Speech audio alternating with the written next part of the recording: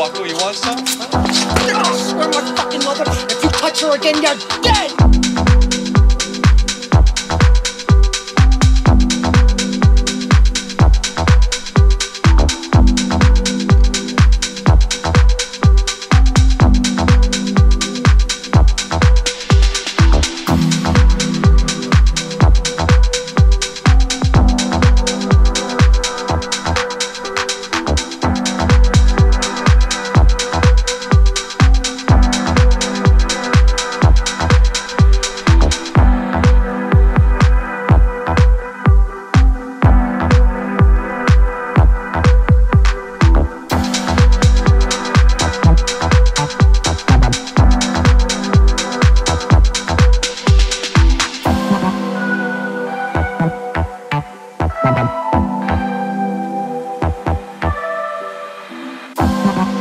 13, I was making more money than most of the grown-ups in the neighborhood. I mean, I had more money than I could spend. I had it all.